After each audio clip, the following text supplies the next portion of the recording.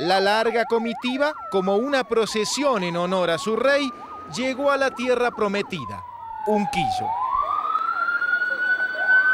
Creo que este triunfo, si bien aparece mi nombre, también se lo dedico bueno, a mi viejo que hoy no está y a todos ustedes que,